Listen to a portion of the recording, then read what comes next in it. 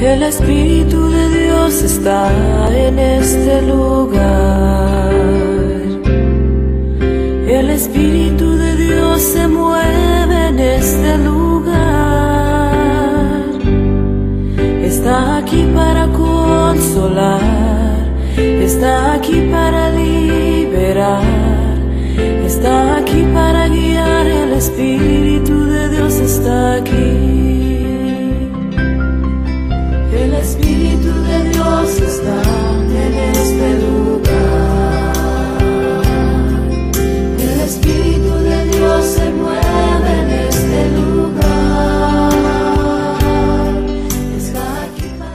Hola hermanas y hermanos televidentes de Extra Plus. Reciban como todos los domingos nuestro saludo de amor y paz en Cristo Jesús con nuestra hermana Norma Iliana Martínez para llevar a ustedes nuestras reflexiones sobre la palabra que se proclama en la Santa Eucaristía de este domingo, que corresponde al domingo décimo noveno del tiempo ordinario del año 2022. Comenzamos levantando nuestras manos al cielo para darle gracias a nuestro Padre Celestial por su amor, por su misericordia, por su fidelidad que nos permite estar aquí con ustedes en este programa. Yo le pido perdón por mis debilidades, por mis infidelidades y mis pecados. Y le pido que su Santo Espíritu me ayude a no hacerlo más. Me guíe, me ilumine. Así como también le pido que nos guíe y nos ilumine en este programa para llevar una palabra de luz, de ayuda, de aliento a nuestras hermanas y nuestros hermanos televidentes. Lo pido en el nombre de Jesucristo, nuestro Señor y Redentor. Amén. Amén. Amén, amén, amén. Entonces, Manuel, llegamos al decimonoveno. Décima noveno, ya. Vamos, Vamos veloz, avanzando bien rápido. veloz, veloz, veloz, veloz. Sí. El de domingo decimonoveno del tiempo ordinario. Y tenemos que la primera lectura es del libro de la sabiduría, capítulo 18, versículo del 6 al 9. El salmo responsorial es el 32. La segunda lectura es de la carta a los Hebreos, capítulo 11, versículo del 1 al 2 y del 18 al 19. El Evangelio, el Santo Evangelio es tomado de, según, es según San Lucas, capítulo 12, versículo del 32 al 48. Esas son todas las lecturas La para lectura. este domingo. Tanto la segunda lectura como el Evangelio son largos, Mariana. La segunda Sí, la segunda y, y el y Evangelio, el Evangelio también es son bien largo. Sí. Bueno, entonces comencemos con la primera lectura.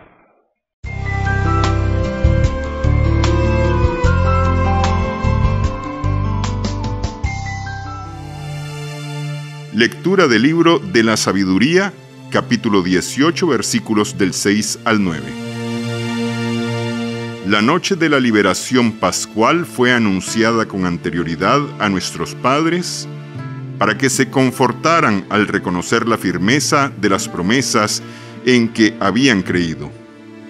Tu pueblo esperaba a la vez la salvación de los justos y el exterminio de sus enemigos. En efecto, con aquello mismo con que castigaste a nuestros adversarios, nos cubriste de gloria a tus elegidos. Por eso los piadosos hijos de un pueblo justo celebraron la Pascua en sus casas y de común acuerdo se impusieron esta ley sagrada de que todos los santos participaran por igual de los bienes y de los peligros. Y ya desde entonces cantaron los himnos de nuestros padres. Palabra de Dios. Te, alabamos, Señor. Señor. Una lectura del libro de la sabiduría que nos habla de la liberación, de cómo la liberación pascual del pueblo de Israel fue anunciada con anterioridad, que ya el Señor había anunciado esa, esa liberación.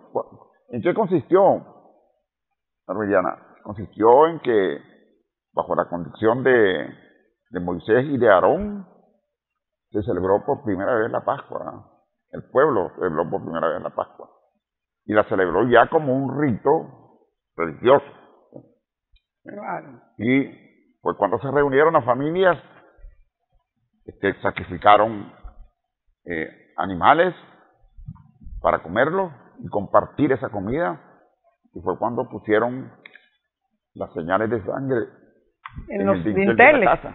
En los dinteles Y de la pasó- casa. Y pasó el ángel y quedaron protegidos todos los primogénitos de los hijos de Israel.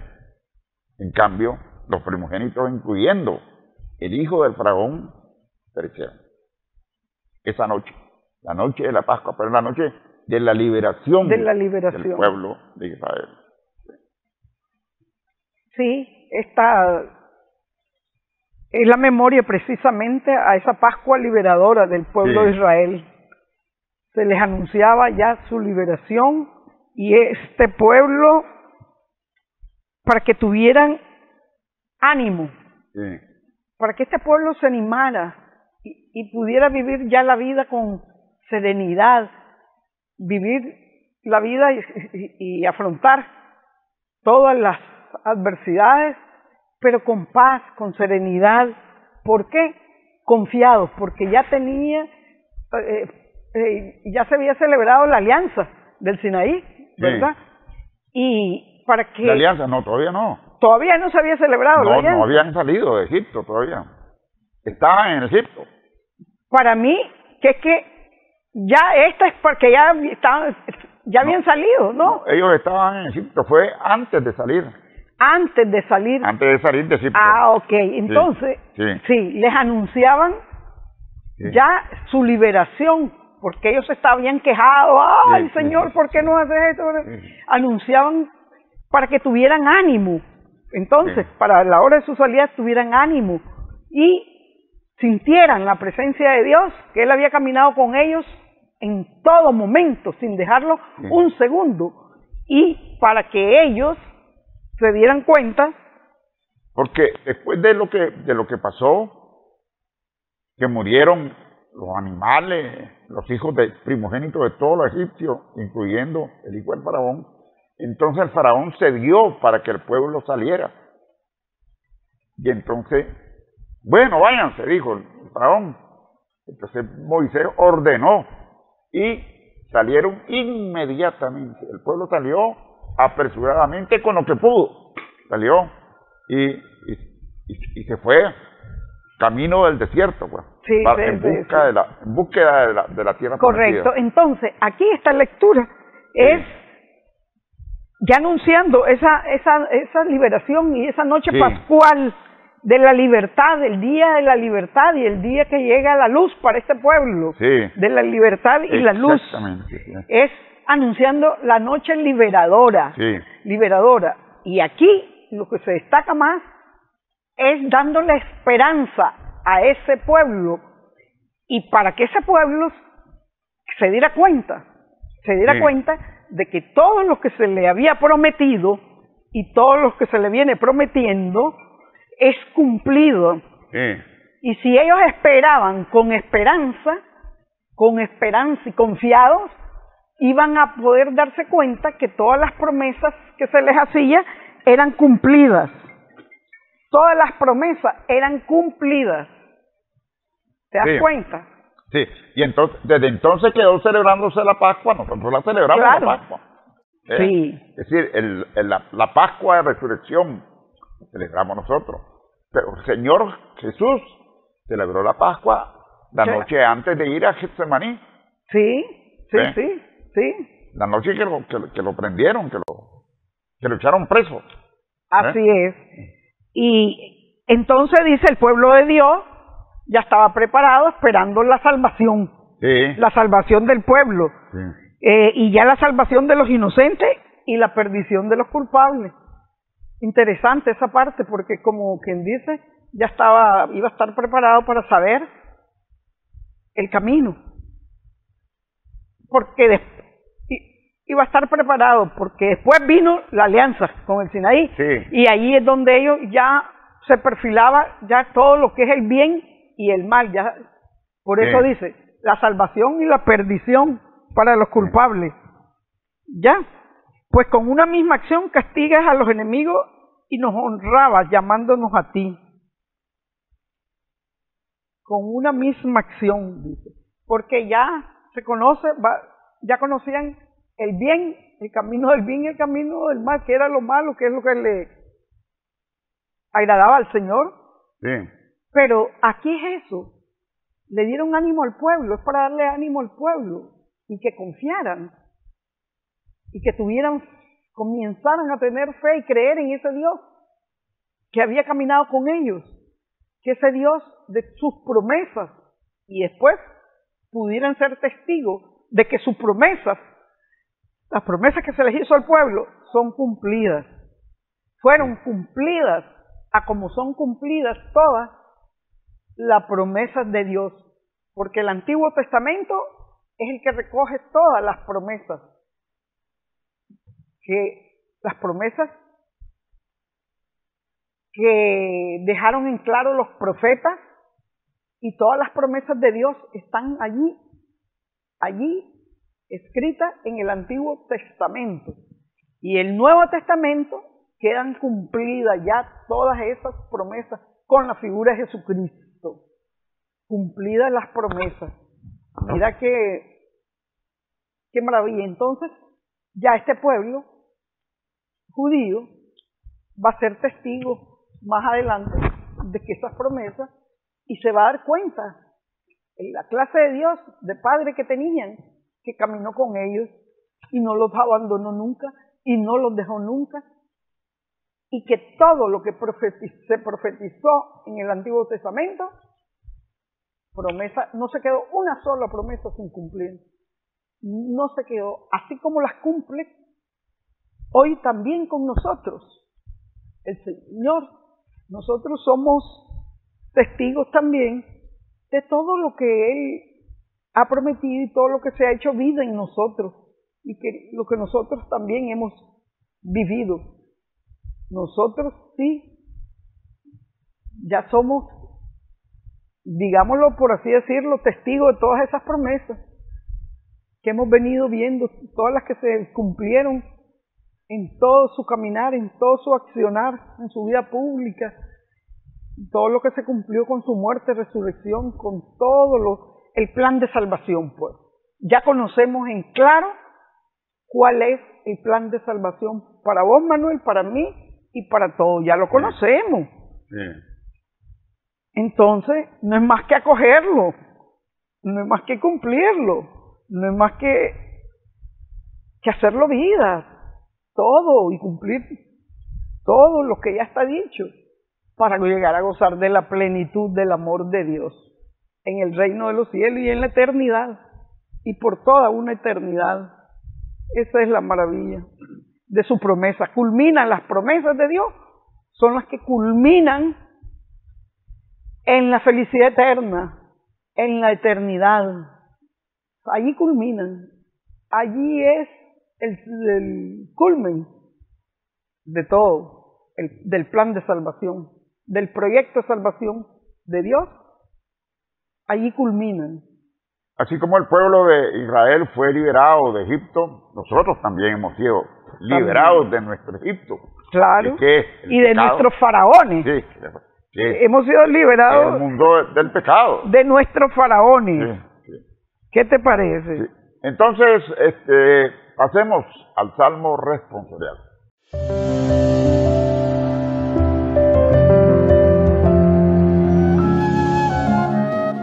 Salmo responsorial número 32.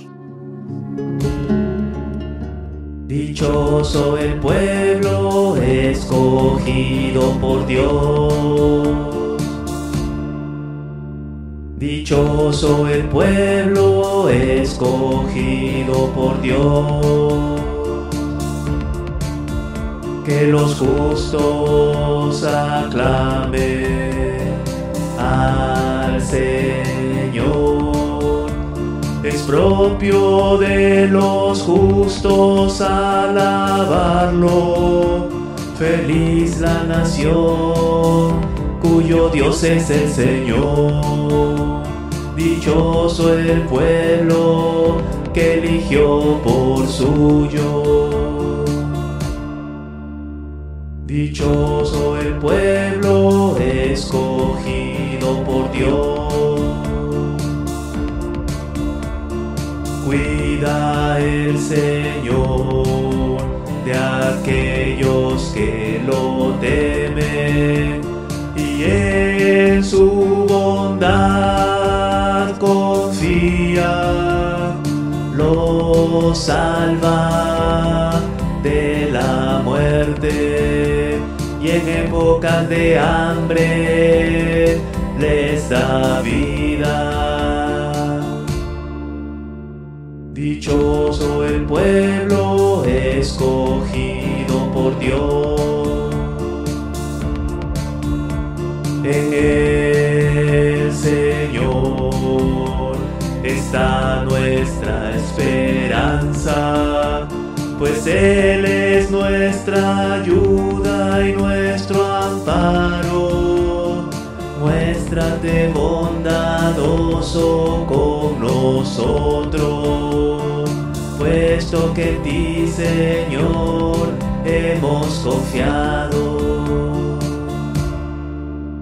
Dichoso el pueblo escogido por Dios. Dichoso el pueblo escogido por Dios.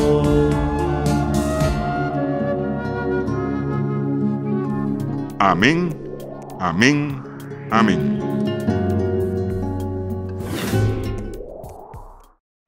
Gloria al Padre y al Padre, y al Hijo y al Espíritu Espíritu Santo, Santo, como era en el principio, ahora ahora y siempre, por los por los siglos de siglos los de los siglos. siglos. Amén. Dichoso el pueblo escogido por Dios. Nosotros somos dichosos, mamá Millana. Sí, porque nosotros somos ahora su pueblo, Sí, el pueblo, ya no es somos Israel, su pueblo. sí. ahora es, somos toda la humanidad, somos es. los hijos de Dios. Esa es la nueva alianza. Sí, esa es la, La nueva alianza. Así es, dichosos nosotros. No todos lo entienden así, Normillana. Hay algunos que siguen creyendo que el, el- que es el pueblo de Israel, e incluso el Estado de Israel, pero el Estado de Israel es un Estado geopolítico, no es realmente el pueblo este, de, de Dios. pues. No es- puede ser el pueblo de Dios en la medida en, en que, en que se acoge a la bondad y a la, a la misericordia y a la fidelidad de Dios. Nadie se lo niega, pues. Y precisamente en la carta, la carta de, de San Pablo a los hebreos, ese es su objetivo, pues. Sí, ¿Por qué? ¿Por qué? Porque San Pablo también era judío. era judío. Por eso dice aquí el Salmo, dichoso el pueblo escogido por Dios, el responsorio. Dichosos nosotros que por donar a su hijo nos hizo parte de su familia filial, nos hizo hijos de Dios por Jesucristo, por su hijo. Somos hijos de Dios, dichosos nosotros, ser hijos adoptivos de Dios, dichosos. Dice, aclamen lo justo, dice, la me- que merece la alabanza de los buenos. Los ojos del Señor están puestos en sus fieles, en los que esperan su misericordia para liberar sus vidas. Están puestos en los fieles que tienen fe en Él, en su amor, en su misericordia. Sí, que ponemos, nos ponemos y nos rendimos y confiamos en Él para poder salvar nuestra vida. Simple. Gozar de la salvación, salvar nuestra vida de la muerte, del pecado. Nosotros aguardamos al Señor, dice el Salmo. Él es nuestro auxilio y escudo. Que tu misericordia, Señor, venga sobre nosotros. Pero ¿qué más, hermanos? Que tenemos a ese Padre que camina con nosotros, que está en todo y, y- en todo, en todo y en todos, que camina con nosotros, que nos muestra su misericordia día a día. Y se las muestra no solo a mí, se las muestra a todos sus hijos, que lo invocan, que lo aclaman, que lo siguen, que lo imitan, que lo que le piden, que lo buscan. Qué maravilla, qué más misericordia que esa. Qué más testimonio de ver, testimonio de vida, de, de ser testigo de su providencia, de ser testigo de cuán bueno y grande es el Señor en nuestras vidas, en cada una de las acciones, porque lo vemos día a día, día a día. Todo fue creado por Él y todo viene de Él. El trabajo que tenemos viene de Él. El- los alimentos de cada día, Él viene de su providencia. La familia que tenemos, todo, no hay nada que no provenga de Él. No hay nada en este mundo. Todo lo creó Él, todo lo hizo y lo hizo para nosotros. Nos hizo nosotros a- a imagen y semejanza. Nos dio un paraíso, nos rescató de la muerte y el pecado, nos volvió la dignidad de ser hijos de Dios, nos ha regresado la dignidad con su Hijo Jesucristo. ¿Y qué más?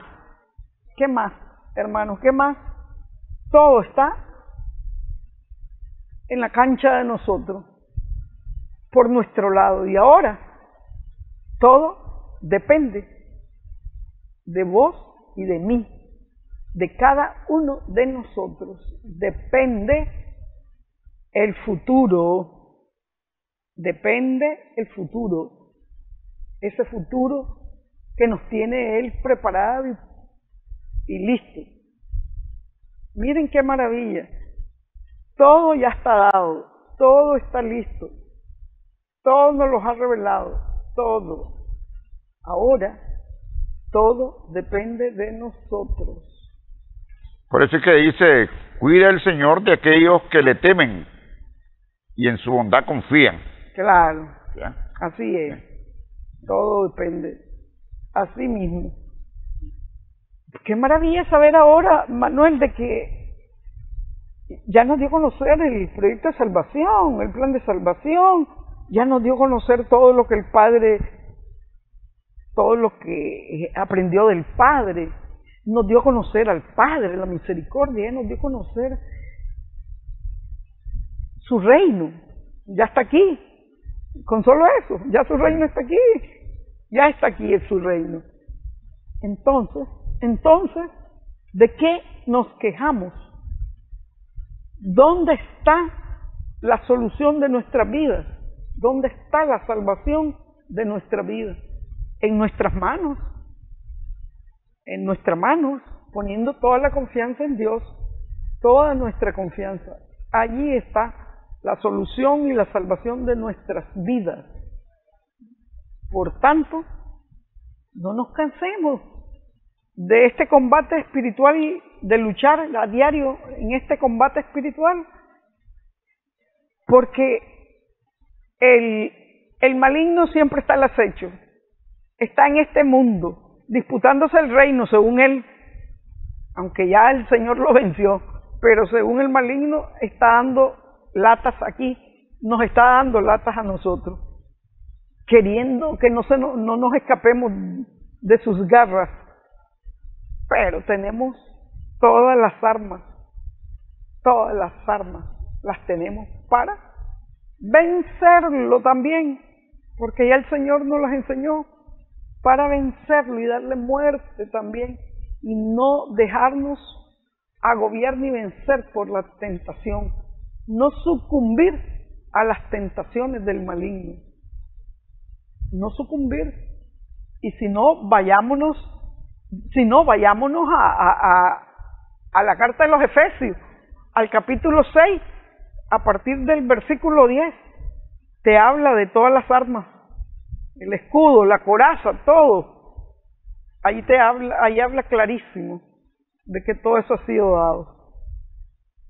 Pasemos entonces a la segunda lectura de este domingo.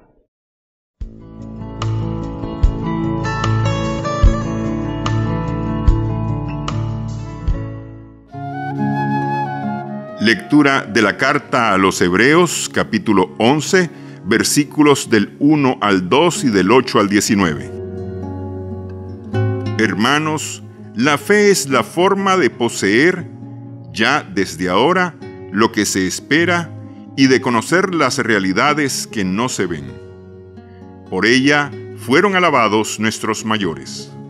Por su fe, Abraham, obediente al llamado de Dios y sin saber a dónde iba, partió hacia la tierra que habría de recibir como herencia.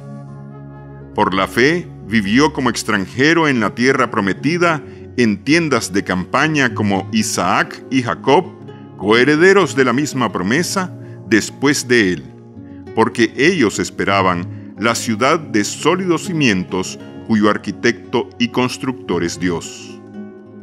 Por su fe, Sara, aun siendo estéril y a pesar de su avanzada edad, pudo concebir un hijo porque creyó que Dios habría de ser fiel a la promesa, y así, de un solo hombre ya anciano, nació una descendencia numerosa como las estrellas del cielo e incontable como las arenas del mar. Todos ellos murieron firmes en la fe. No alcanzaron los bienes prometidos, pero los vieron y los saludaron con gozo desde lejos. Ellos reconocieron que eran extraños y peregrinos en la tierra. Quienes hablan así dan a entender claramente que van en busca de una patria, pues si hubieran añorado la patria de donde habían salido, habrían estado a tiempo de volver a ella todavía. Pero ellos ansiaban una patria mejor, la del cielo. Por eso Dios no se avergüenza de ser llamado su Dios, pues les tenía preparada una ciudad. Por su fe, Abraham, cuando Dios le puso una prueba, se dispuso a sacrificar a Isaac, su hijo único, garantía de la promesa, porque Dios le había dicho, de Isaac nacerá la descendencia que ha de llevar tu nombre. Abraham pensaba en efecto que Dios tiene poder hasta para resucitar a los muertos. Por eso le fue devuelto Isaac, que se convirtió así en un símbolo profético. Palabra de Dios. Te alabamos, Señor. Bueno, la carta de San Pablo a los hebreos, a su pueblo, su pueblo, en la cual pone como fundamento de, de la vida, de la vida presente y futura, la fe. Porque eso es la vida futura. Si nosotros creemos que hay otra vida. Y en una parte de esta carta, precisamente San Pablo nos habla de que por esa fe es que Abraham y su familia marcharon. Dice, buscaron, buscando una patria mejor. Esa patria mejor es el cielo. Pudieron haberse regresado, pero se regresaban a lo mismo. En cambio, lo que tenían de futuro era una patria mejor. ¿La estaban viendo? No la estaban viendo. La tierra Pero prometida. pero tenían fe. Y por fe, ellos murieron seguros de que iban a ir a una patria mejor. Es lo que nosotros creemos también. Sí. Es, es una maravilla y esta es la evocación de la fe basada a la luz de las grandes figuras de la historia de la salvación. Y comenzamos con el patriarca Abraham, que Abraham, siendo un hombre rico, siendo un hombre que todo lo tenía, atendió a lo inmediato el llamado de Dios, al llamado, dejó todo su confort, lo dejó todo y siguió y cumplió lo que le dijo el Señor. Creyó en todas las promesas que le hizo Dios. Creyó. Por eso es llamado el profeta de la fe. El Abraham. El padre de la El fe. padre de la fe. El padre de la fe. Y qué maravilla. Después, no solo le prometió un hijo, tener un hijo, a pesar de la edad que tenía Abraham y Sara, que eran ya ancianos. Y efectivamente, y cumplió y le dio el hijo. Después le pidió en sacrificio al hijo. Y él, ese es como un signo, pues, de, de, de la fe de, de Abraham. Y Abraham también, también obedeció a lo que le pedía, a entregar a su hijo. Aunque claro, no fue sacrificado, porque ¿quién va a pedir a que sacrifiquen a un hijo? Pero eso era por un signo. Era un signo.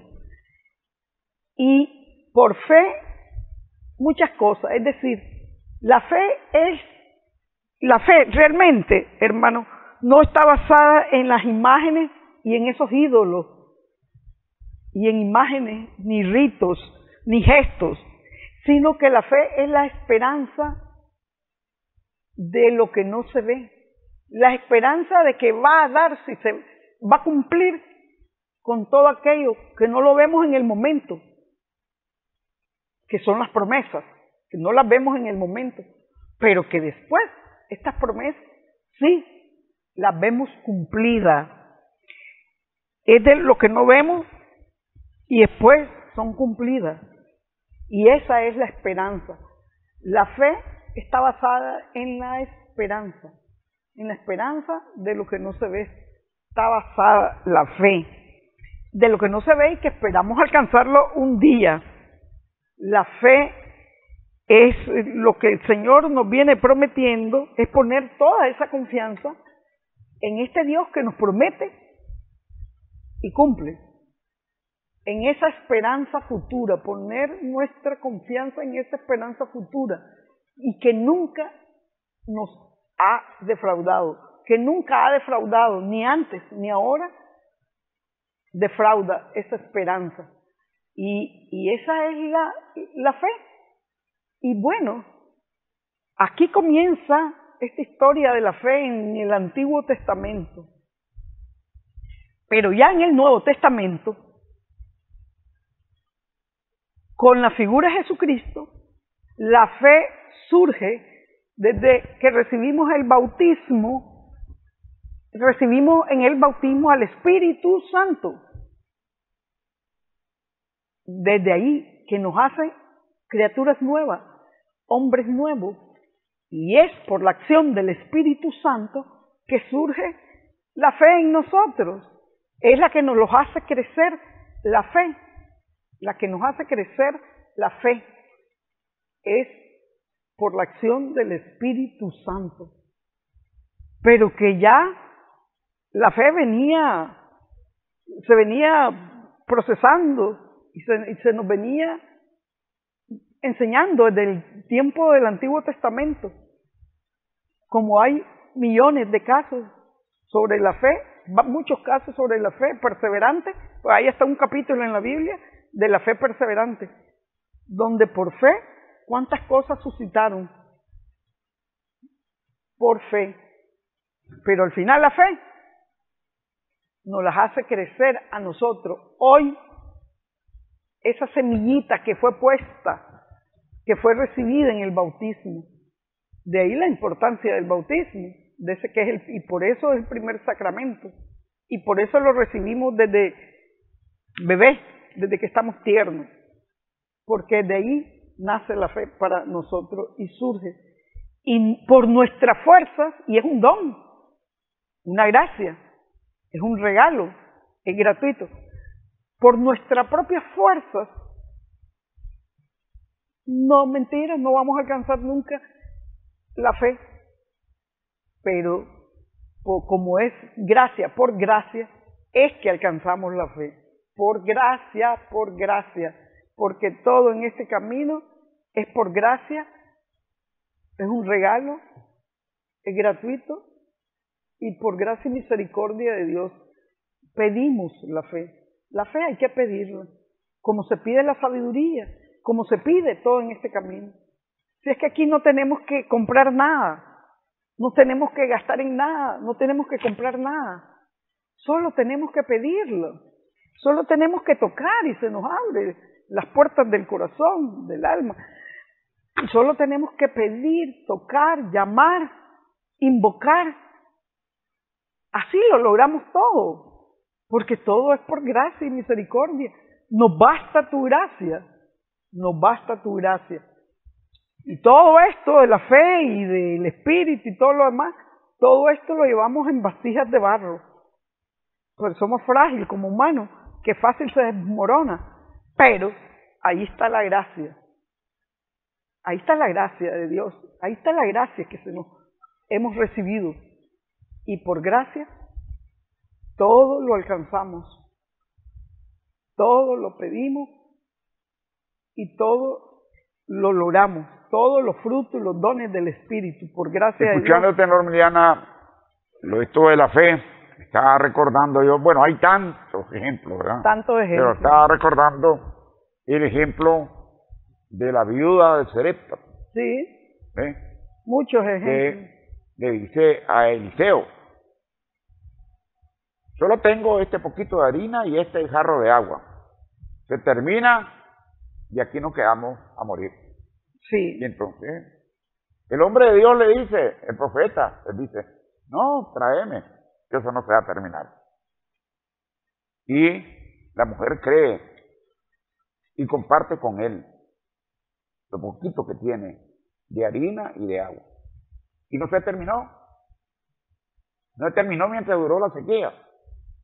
Yo me pregunto, pues, el Señor nos dice dar de comer al ambiente, dar de comer de tu comida al ambiente. Creemos nosotros eso. Lo hacemos porque creemos. Vestir al desnudo. Lo hacemos porque creemos. Es que eso es, esa es la prueba de la fe. La prueba de la fe es creemos en toda la palabra de Dios, todo lo que está escrito y nos dice allí en este libro sagrado, lo creemos. Si lo creyéramos, lo hiciéramos. Perdona. cumplimos. Creemos. Perdona. Ama a tus enemigos. Uy, ¿cómo hacer posible esto? Si te dan una cachetada en una mejilla, pon la otra. ¿Cuántas veces tenés que perdonar? 70 veces 7. Nos creemos en la palabra de Dios, está dicho todo. Con tantos ejemplos. La cura de, de, de la lepra, como cura y, este Naamán, Eliseo, cómo curaron también al sirio, en fin, hay N, N, N casos, pero el caso está en que nos creemos la palabra, nos creemos que la verdadera vida está después de esta vida, no las creemos. Si la creyéramos no nos importaría morirnos ya y dejar este mundo. Pasemos a la alabanza musical de este domingo. Regresamos con la proclamación del Santo Evangelio.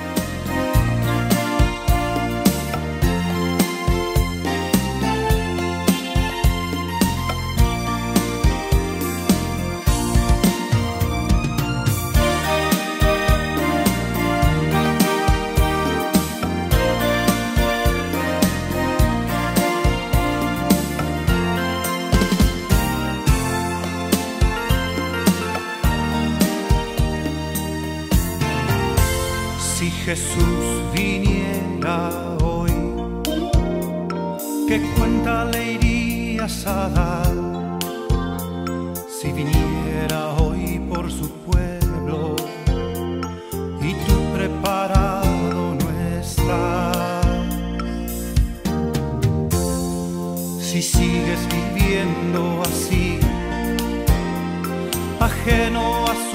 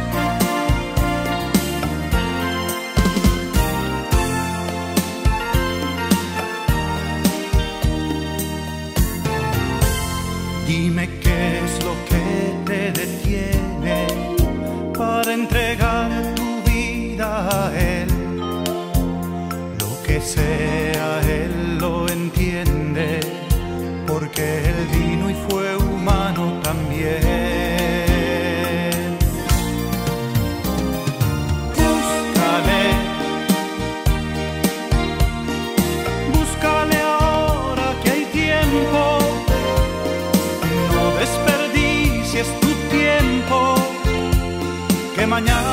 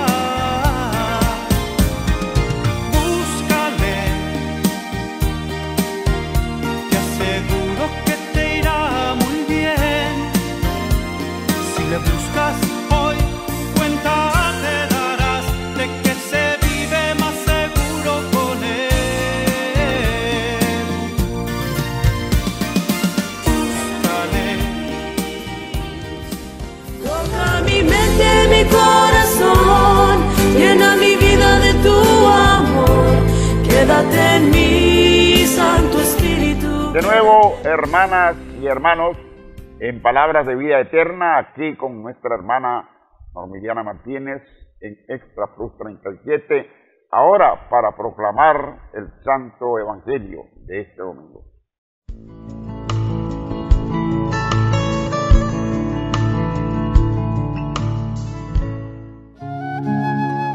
Lectura del Santo Evangelio según San Lucas capítulo 12 versículos del 32 al 48. En aquel tiempo Jesús dijo a sus discípulos, No temas, rebañito mío, porque tu Padre ha tenido a bien darte el reino. Vendan sus bienes y den limosnas.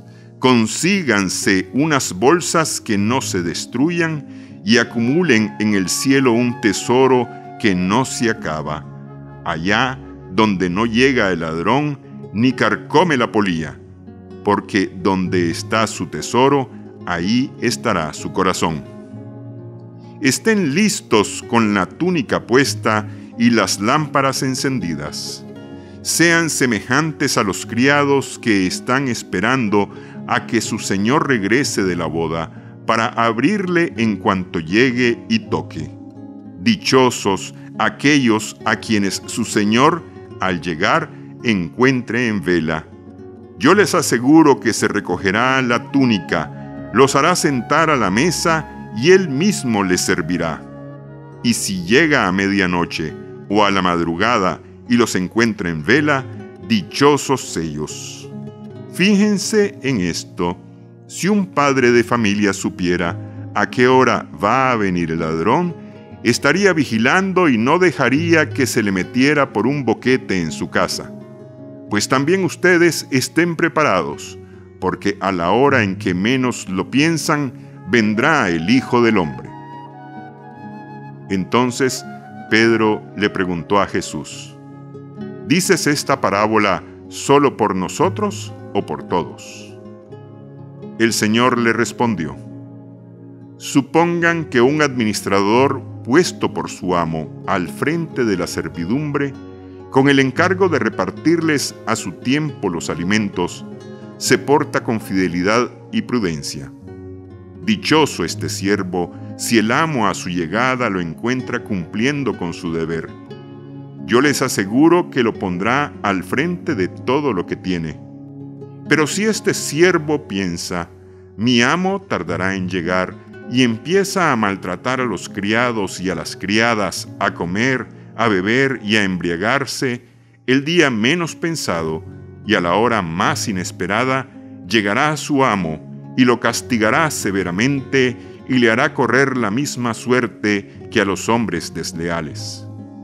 El servidor que conociendo la voluntad de su amo no haya preparado ni hecho lo que debía, recibirá muchos azotes pero el que sin conocerla haya hecho algo digno de castigo, recibirá pocos. Al que mucho se le da, se le exigirá mucho. Al que mucho se le confía, se le exigirá mucho más.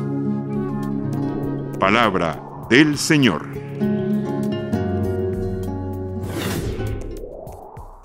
Gloria, a, ti, Señor, Jesús.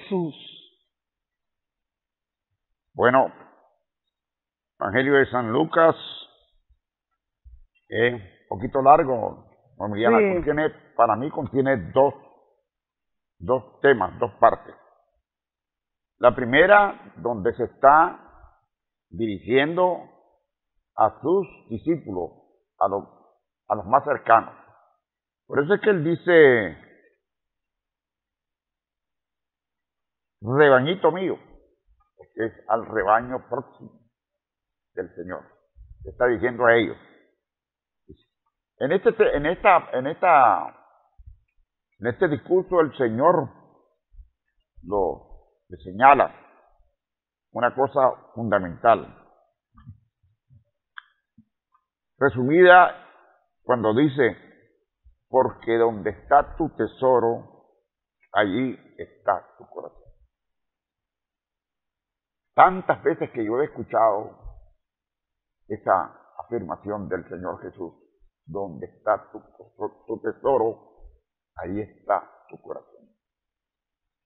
Y lo estoy comprendiendo que Él me está diciendo, si tu tesoro lo tenés acumulado en el cielo, vos actuarás y hablarás y reaccionarás desde tu corazón con lo que eso significa, que es el tener asegurada la vida eterna Así de felicidad. Pero para eso es primero, antes que nada, más importante que nada, la vida eterna. Así es, vimos que el domingo pasado habla sobre el que atesoremos solo los bienes celestiales del cielo. Y habla sobre la riqueza, ¿verdad? Sobre la acumulación de riqueza. Ahora habla un poco de eso, la continuidad, habla un poco de eso, pero nos dice claramente, nos, ah, nos dice claramente y nos invita a que estemos vigilantes, atentos. Es el segundo tema, es un tema escatológico. Sí, es, sí, así es. Pero aquí, primeramente, nos habla un poco de la riqueza. Vendan todo lo que tienen y den la limosna, y den limosna. Que, la, que hagan que las bolsas no echen no se echen a perder y un tesoro inagotable en el cielo. Háganse bolsas que no se echen a perder. Ya. A donde no se acercan los ladrones ni se roben las cosas. Sobre la riqueza. Que se vendan los bienes y le demos la reverdad a los pobres. Porque donde está su tesoro está su corazón. Como quien dice, no se centren en el dinero, pues.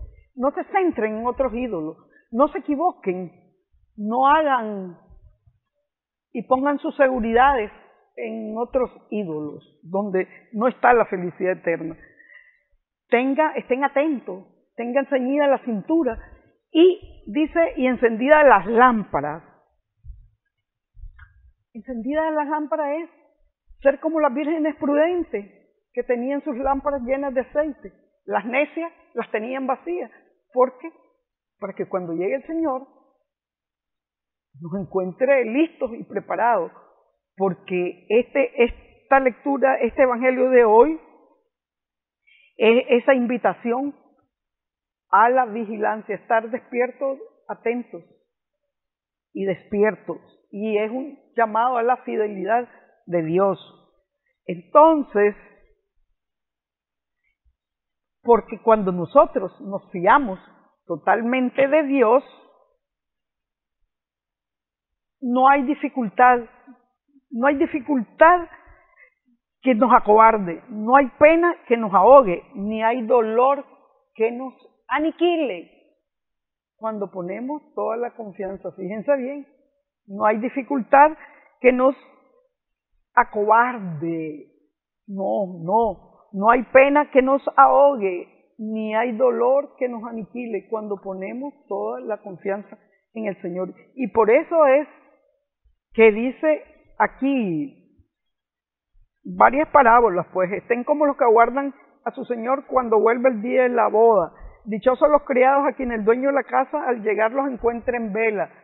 Dichoso, dice muchas cosas sobre el estar preparados estar en vela, estar vigilante, sino estar preocupados. Hoy día es estar preocupados en no poner nuestro corazón en los, en los poderes y en la riqueza. Hay que poner nuestro corazón en todo lo que nos garantice esa esperanza futura, en todo lo que nos garantice la salvación allí es donde hay que poner nuestro corazón, ahí, en todo lo que nos garantice nuestra salvación, nuestra esperanza futura, en todo eso. Por eso aquí dice, aquí habla sobre el administrador fiel, dichoso el criado a quien su amo al llegar lo encuentre listo, lo encuentre que, con todos sus bienes en orden, que todo lo tenga en orden. El criado dice que sabe lo que su amo quiere y no está dispuesto a ponerlo por obra, recibirá mucho azote.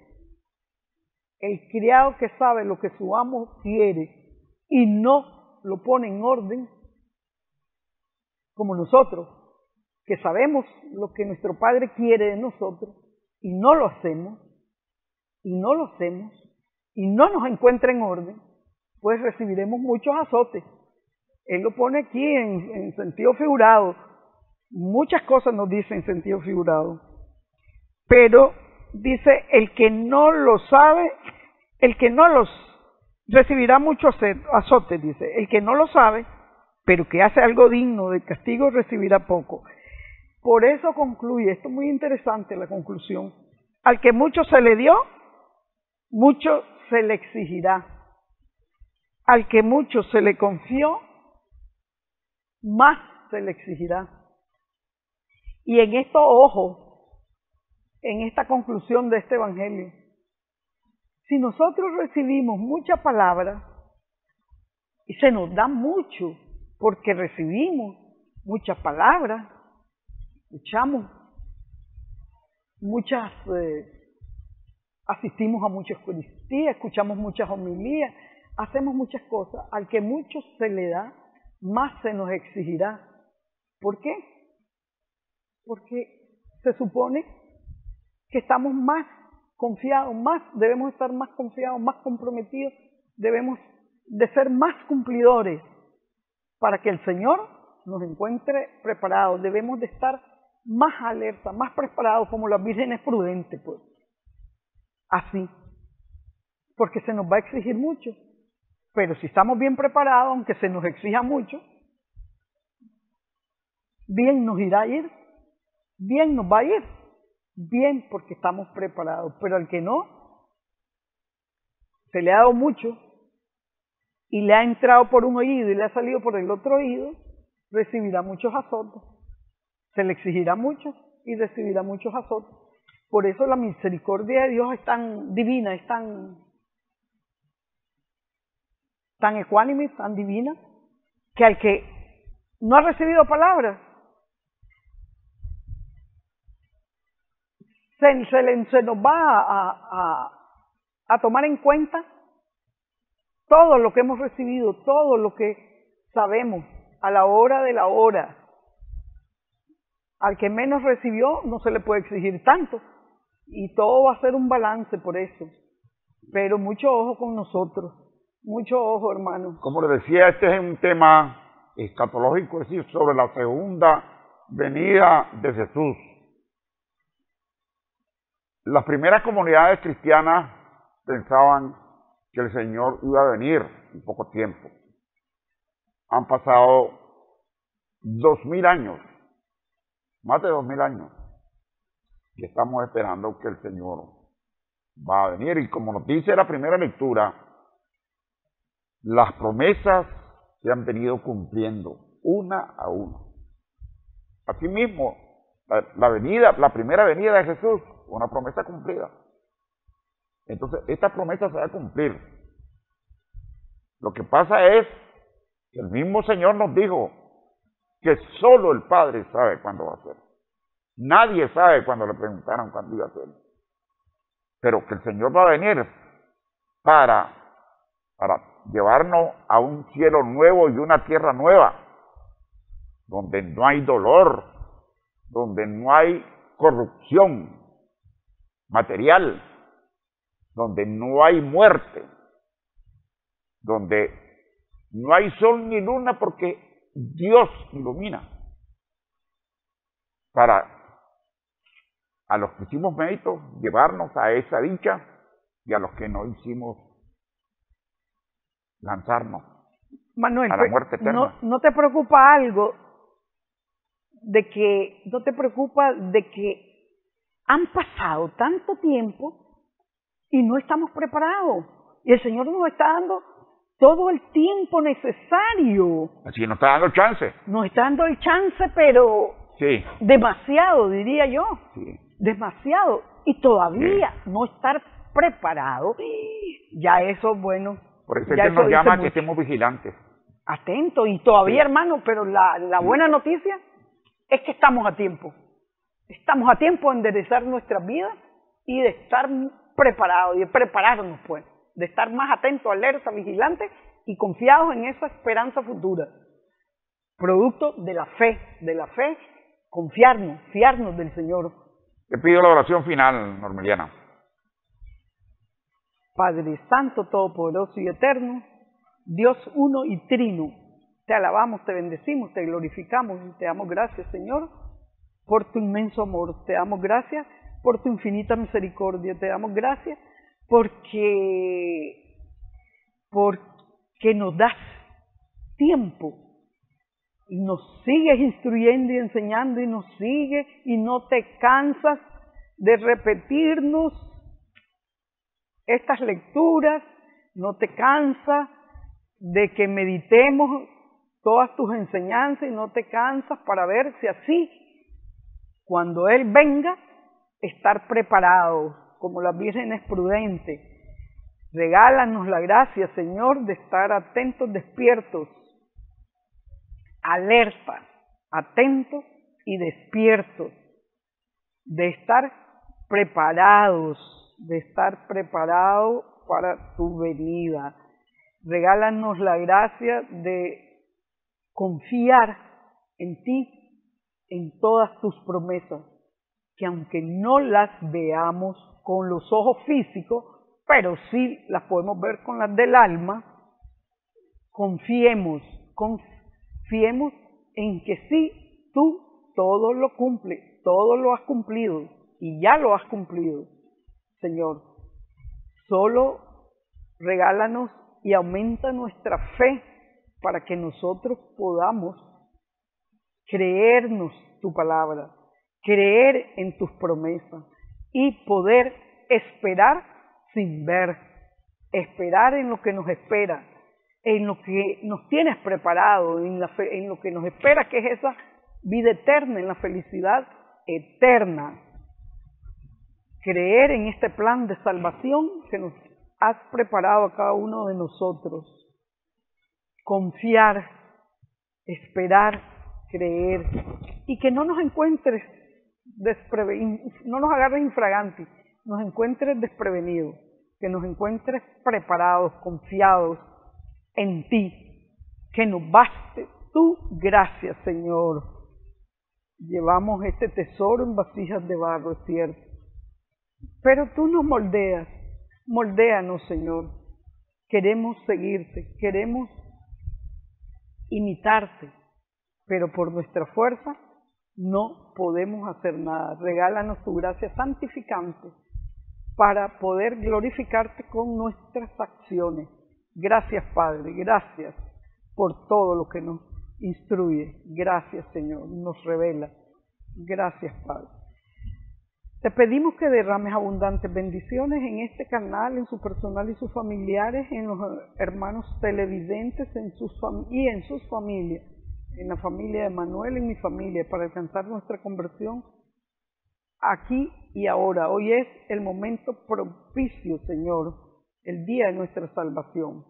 Y a ti, Madre Santísima, te pedimos que intercedas ante tu Hijo para que este mundo alcance la paz, que Ucrania y Rusia logren la paz, alcancen la paz, para que Nicaragua haya paz, se llene de paz, de amor, de justicia Señor.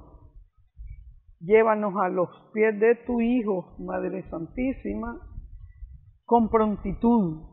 Cúbrenos con tu manto. Te pedimos por todas, que intercedas por todas nuestras necesidades físicas, espirituales y materiales. Todo esto te lo pedimos en nombre de Jesucristo, tu Hijo, que vive y reina contigo en la unidad del Espíritu Santo, por los siglos de los siglos. Amén, amén, amén. Amén, amén, amén. Gracias, hermanas y hermanos. Hasta el próximo domingo, si Dios así lo permite. Quédate en mí, quédate en mí. Toca mi mente, mi corazón. Llena mi vida de tu amor. Quédate en mí, Santo Espíritu, quédate en mí.